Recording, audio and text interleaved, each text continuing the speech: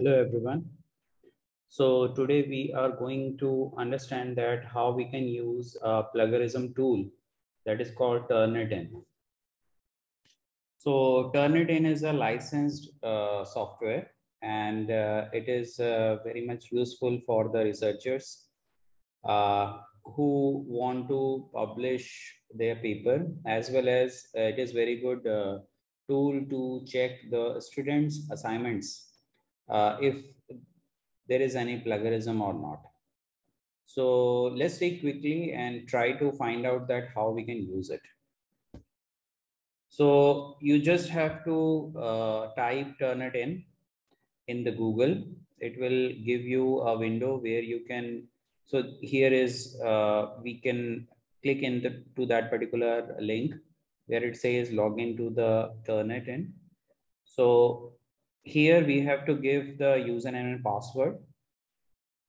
This is, uh, as I told you, it is a licensed version of uh, the plagiarism test tool. So you have to have authenticated username password. Maybe it is uh, given by your organization or maybe it is given by your institutes.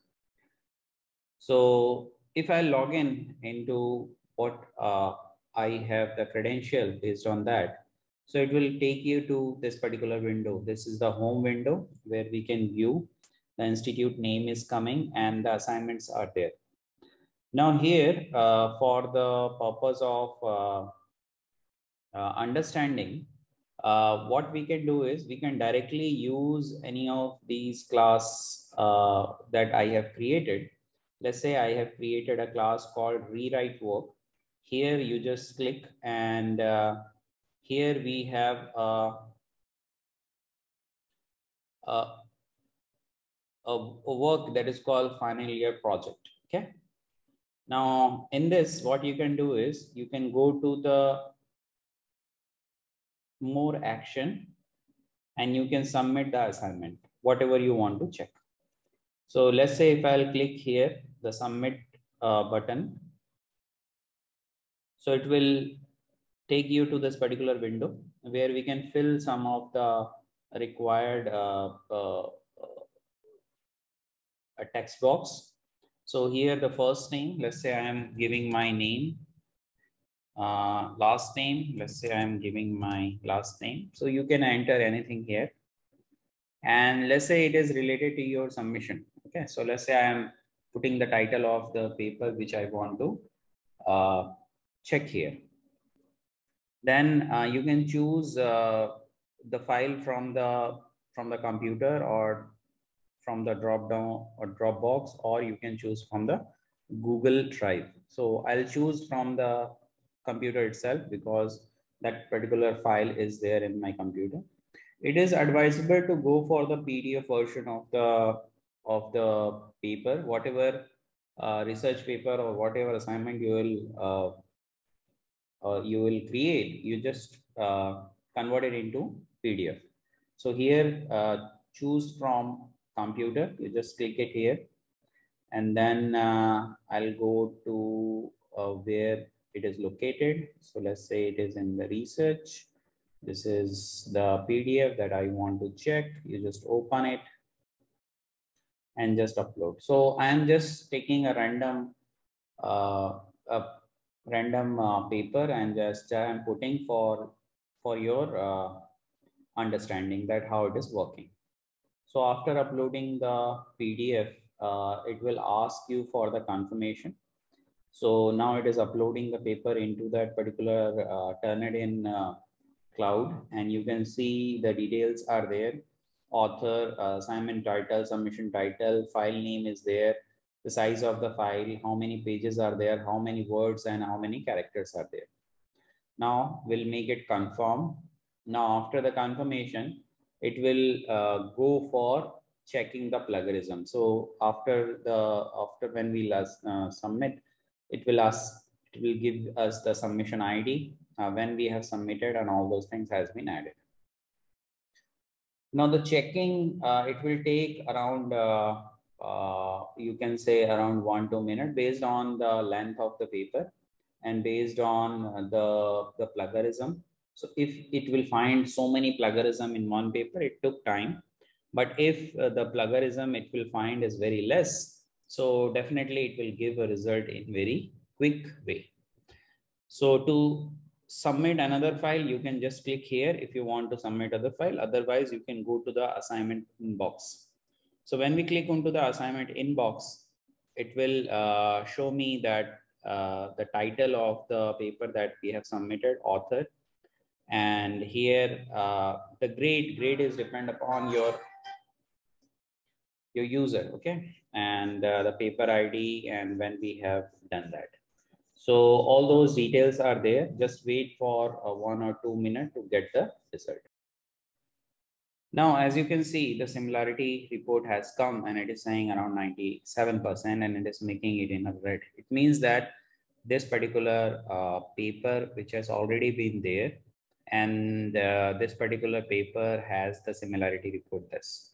So this is uh, a random paper, as I told you, I have picked up and it is showing the, uh, the plagiarism as 97%. What you do is you just click it here and it will take you to a separate page where you can see that uh, what are the different sources uh, and what are the different uh, the the sentences which are being uh, used in other people right? So here if you see uh, the right hand side part you can find many things uh, one thing that you have to remember put is here is 97 you just click it here it will show you the source. So as you can see, it has this particular paper has already been published in one particular paper and it is showing around 97% plagiarism of that particular paper which has already been published. And you can see that the source that is there is, it is showing one, one to all those, those papers, right? And if you'll just click here, it will show the detail of that particular paper which has already been published. Okay. So this is a way how we can do that. Next thing is if you want to download, okay, uh, and at very last you'll find out the the plagiarism report. It is just showing you that what are the thing which has been already uh, published. So it is here as you can see, right? So all the details are, are here.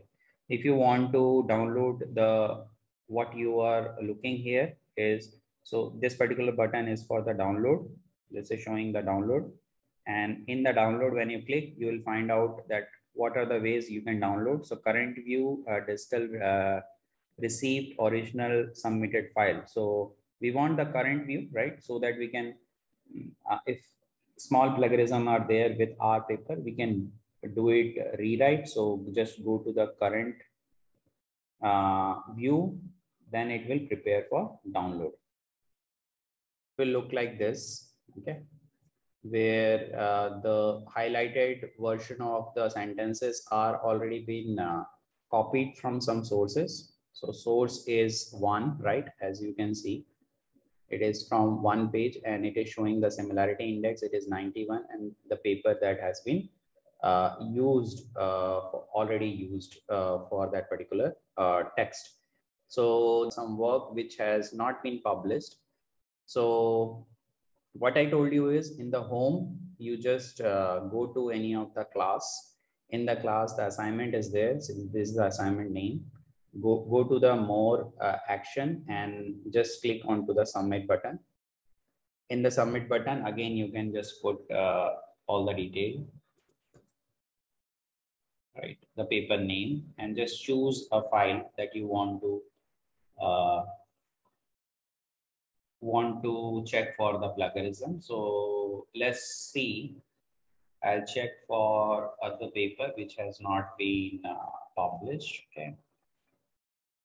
So let's say it is uploaded. Uploading right now.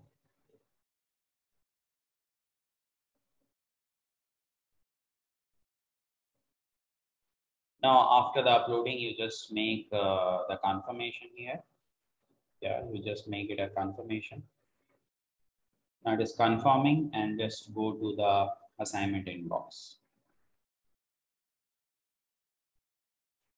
Now here you can see the similarity is uh, not much. It is 21 percent. Still you can reduce uh, the uh, the similarity uh, depend upon.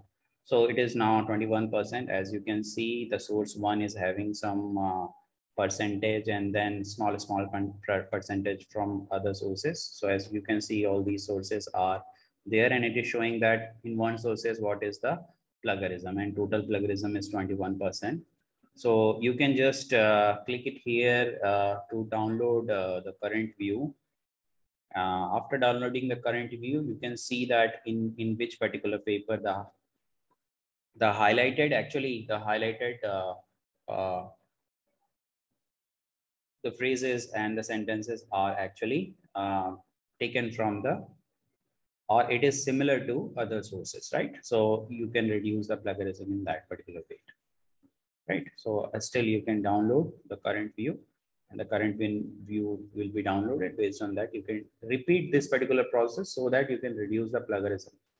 So it is advisable to keep the plagiarism less than 10% and individual plagiarism less than uh, 1% or less than 2%, right? So it depends upon different uh, journals to or different conferences to conferences, but it is advisable to take that particular thing in a data from the sources which you haven't authori authorized to take, right?